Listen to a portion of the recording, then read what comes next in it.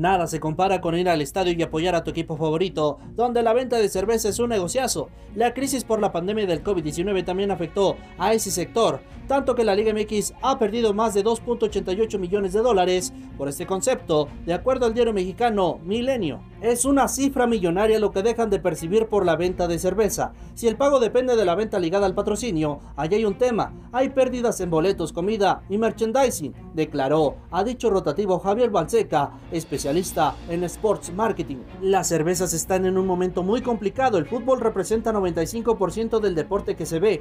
El estadio es uno de los primeros lugares de consumo. Esperamos que esto se reactive conforme las autoridades nos lo permitan. La industria cervecera dejó de producir en México desde el pasado 10 de abril por la contingencia y se reactivaría el 18 de mayo. Y aunque la Liga MX se reanudaría pronto, lo más probable es que se haga sin gente en las gradas o pocos asistentes, lo que agudizaría las pérdidas.